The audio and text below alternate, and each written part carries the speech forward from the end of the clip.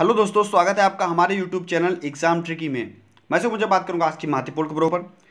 BEd प्रवेश पत्र का इंतज़ार कर रहे छात्रों के लिए खुशखबरी है। दोस्तों, आपके प्रवेश पत्र जारी हो चुके हैं और अभ्यर्थियों के लिए और केंद्रों के लिए दिशा निर्देश भी जारी किए जा चुके हैं। एक घंटा पहले रिपोर्ट करना होगा छात्रों को केंद्रों पर।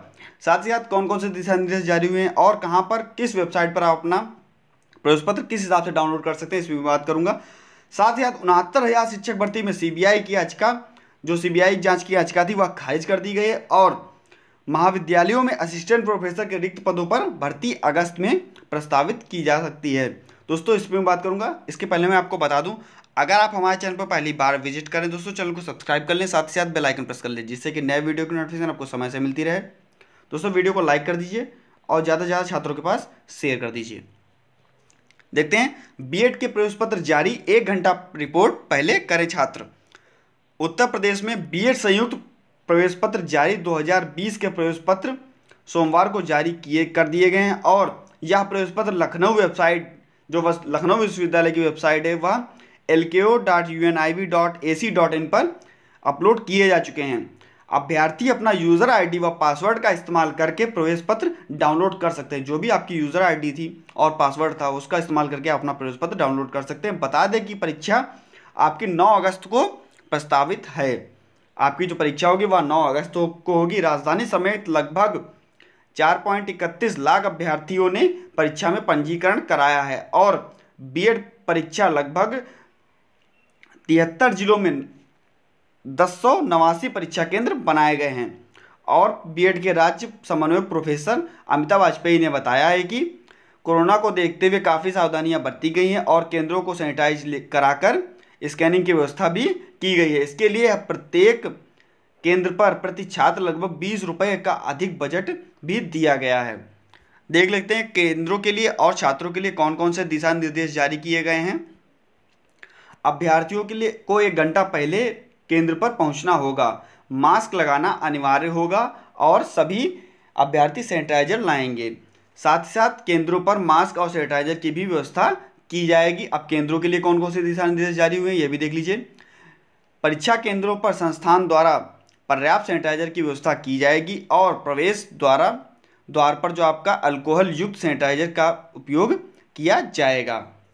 मास्क सुनिश्चित कराए जाएँगे आप लोगों को और जो आपकी थर्मल स्कैनिंग होती है, वह भी थर्मामीटर का भी प्रयोग किया जाएगा। सोशल डिस्टेंसिंग का पूर्णतः पालन किया जाएगा। आगे देख लेते हैं। शिक्षक भर्ती सीबीआई जाँच की याचिका हो चुकी है। खारिज, जितने भी अभ्यर्थी उनाता शिक्षक भर्ती में। इस याचिका को लेकर परेशान थे कि सीबीआई जाँच होगी तो वह याचिका खारिज हो चुकी है।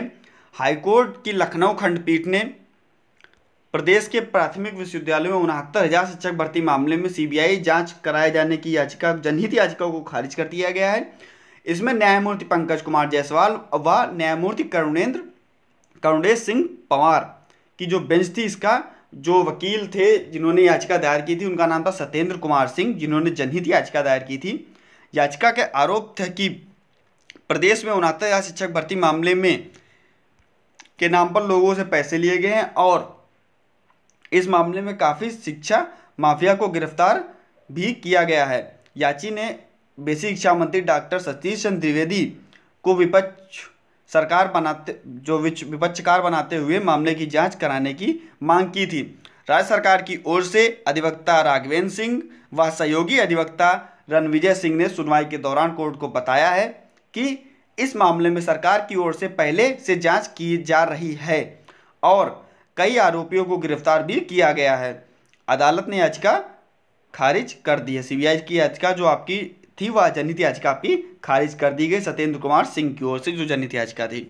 आगे देख लेते हैं। अगस्त में शिक्षकों की भर्ती होगी। अगस्त में शिक्षकों की भर्ती होगी। प्रदेश में सहायता प्राप्त महाविद्यालयों में असिस्टेंट प्रोफेसर के रिक्त पदों का जिला अधिकारियों के माध्यम से ऑडिट करने के बाद भी प्रक्रिया शुरू नहीं हो पाई है और इन महाविद्यालयों में असिस्टेंट प्रोफेसर के पाँच हज़ार से ज़्यादा रिक्त पदों का ब्यौरा जुटाया जा चुका है। लेकिन उच्चतर शिक्षा सेवा आयोग अभी तक भर्ती का विज्ञापन जारी नहीं कर चुका है। नहीं कर सका है। अब अगले महीने के अंत तक विज्ञापन जारी करने की तैयारी चल रही है। शासन ने इसके लिए पहले ही हरी झंडी दे दी थी और शासन के निर्देश पर महाविद्यालयों में विषयवार छात्र संख्या के आधार पर रिक्त पदों की उपयोगिता की जाँच कराई गई है। यह कार्य जिलाधिकारियों की अध्यक्षता में गठित कमेटी के माध्यम से किया गया। पहली बार यह कवायद है कि गई ताकि अनुपयोगी पदों पर को समाप्त किया जा सके और इसके पहले रिक्त पदों का ब्यौरा क्षेत्रीय उच्च शिक्षा अधिकारी के माध्यम से महाविद्यालयों द्वारा सीधे उच्च शिक्षा निदेशालय भेज दिया जाता था। निदेशालय से भेजने, भेजे जाने वाले रिक्त पदों का अध्याचन के आधार पर उच्च शिक्षा सेवा भर्ती प्रक्रिया शुरू करता था।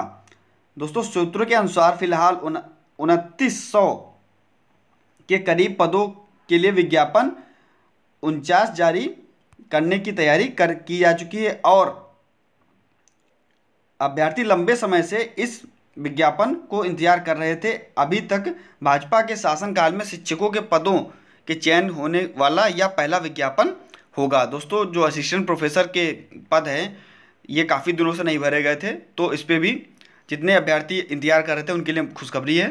साथ ही साथ, अगर आप हमारे चैनल पर दोस्तों पहली बार विज़िट करें तो चैनल को सब्सक्राइब कर लीजिए। अगर आपको वीडियो अच्छी लगी हो तो वीडियो को लाइक ज़रूर कर दीजिएगा और ज़्यादा से ज़्यादा छात्रों के पास शेयर कर दीजिएगा। मिलता हूँ नेक्स्ट जानकारी में।